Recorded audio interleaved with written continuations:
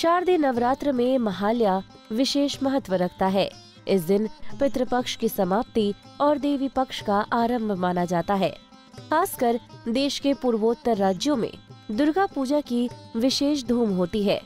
पश्चिम बंगाल विश्व भर में दुर्गा पूजा के लिए प्रख्यात है और दुनिया भर से लोग यहाँ का दुर्गा पूजा देखने जुटते हैं।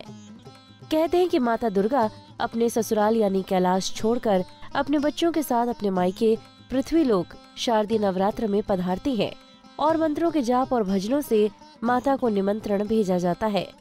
बंगालियों के लिए महाल्या के दिन का विशेष महत्व है। इस दिन माता दुर्गा की प्रतिमाओं को नेत्रदान किया जाता है, यानी मूर्तियों के नेत्र बनाए जाते हैं। पूरे बंगाल में जगह जगह दुर्गा माँ के पंडाल सज कर तैयार होते हैं, जहाँ माँ दुर्गा को प्रतिष्ठित किया जाता है। इस दिन से जुड़ी एक मान्यता ये भी है कि महालया वो समय है, जब दुर्गा माँ ने असुरों का सर्वनाश किया था। महालया के तड़के सुबह माता दुर्गा पर विशेष नाटक, महिषासुर मर्दिनी रेडियो के ज़रिए प्रसारित किया जाता है।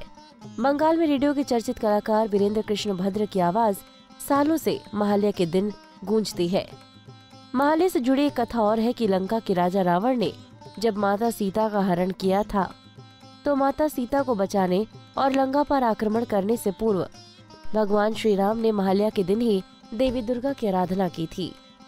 ओम सर्व मंगल मांगल्य शिवे सर्वाध साधिके।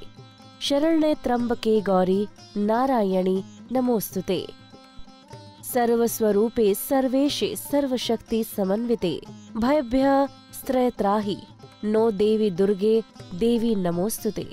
ओम हेम क्लीम चामुंडाई विच्चे नमः।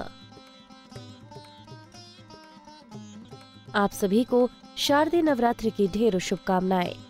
अगर आपको ये वीडियो पसंद आए तो इसे शेयर लाइक और कमेंट करना ना भूलें।